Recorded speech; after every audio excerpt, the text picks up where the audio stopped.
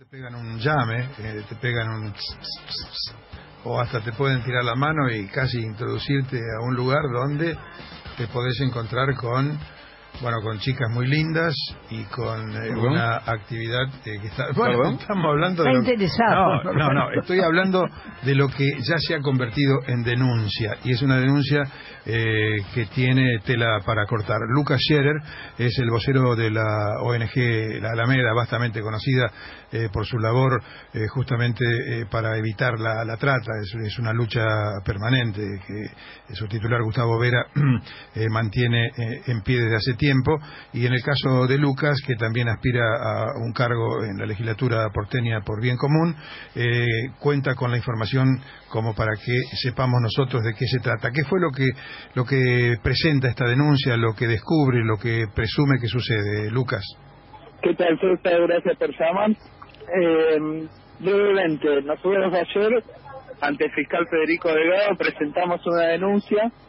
que nos lleva a la legislatura porteña, donde Gustavo preside la Comisión Especial de Trata, que tiene que ver con el Café Orleán, en primera instancia, que es este café que vos mencionabas, que queda en la esquina de Córdoba y San Martín, enfrente a Galerías Pacífico. Este bar que desde afuera se lo ve con cual- como cualquier otro de Buenos Aires, en su interior solo tiene mujeres, que cada una de ellas se sienta en una mesa, se divide cada una de manera individual en una de estas mesas y tiene que pagar 230 pesos al encargado del bar para estar allí. Después el hombre que entra, un café se lo cobra muy muy costoso y a la hora de que te dan el ticket, uno puede mirar la SR la empresa que explota ese lugar se te acercan la- la- las chicas, te dicen que el pase sale tanto, te explican en qué hotel se hace, y esto es lo que quedó registrado en la Cámara Oculta que presentamos ayer a la justicia y que hoy todos los oyentes de Plata van a poder entrando a los portales de la Alameda o a través de Facebook y de YouTube de la Alameda. Lo que presentamos tiene que ver con un delito gravísimo, que es la violar la ley de profilaxis, violar la ley de inmigraciones, porque hay mujeres extranjeras siendo explotadas en, este, en estos prostíbulos encubiertos de bar, y además se presume el delito de trata de personas, ¿no? Sí, Ahora, eh, esta concejal kirchnerista es denunciada por ser propietaria de este lugar, de regentearlo. Estamos hablando de la supuesta dueña ¿qui- ¿de quién se trata?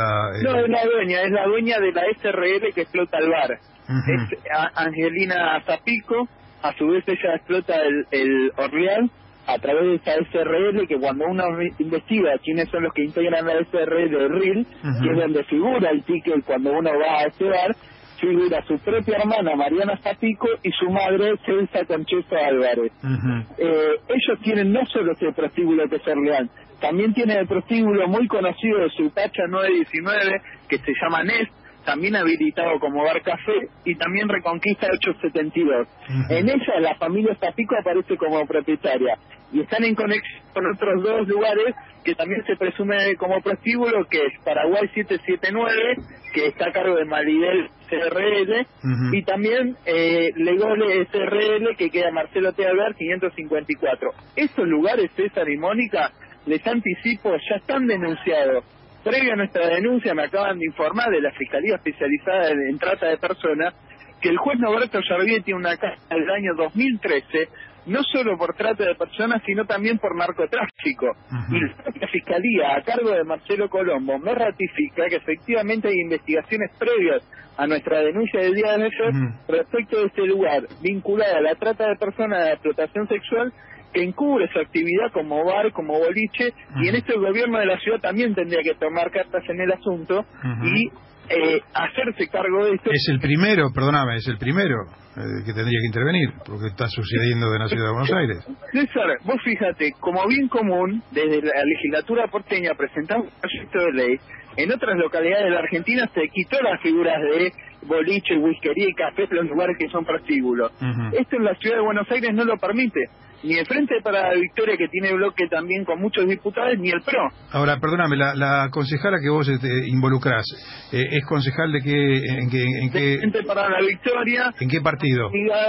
del Frente para No, no, no, pero ¿en qué, en qué pueblo, en qué ciudad? San Antonio de Areco. Antonio Areco, disculpa. Ujú. Es San Antonio Areco, ella además es funcionaria de la Dirección de Tierras de la Intendencia eh, y además eh, está muy vinculada al señor Julio De Vido por las fotografías y demás porque esa entrega de vivienda y tierra. Bien, hemos tratado de tomar contacto con ella y eh, no lo ella hemos... no, quise, no quiere hablar. No lo hemos logrado. Ahora es increíble la, la política y la prostitución, no solamente acá, España, por ejemplo, hemos escuchado casos y ¿Por casos. qué guarda algún vínculo o no? Bueno, efectivamente nosotros en la, la denuncia que yo presenté ayer, lo que decimos es que eh, podría existir una hipótesis de investigación respecto del delito de trata, porque el padre de, de esta señorita, de, de Angelina Zapico, es español y llamativamente una de las empresas que ellos mantienen, que es eh, Sense, de nombre Sense, figura también en España un prostíbulo con el mismo nombre, con la misma denominación. Bien. Nosotros, y además, ella tiene, Zapico tiene, por lo que sabemos, un tío que es español, como su padre, que es comisario en España. Así que ustedes saben también la ligación, no solo que tiene la política con la trata. Bien, Lucas. Y estas mafias, sino también eh, que puede haber en, eh, en España, ¿no? Bien, gracias por tu participación en nuestra mañana con este tema.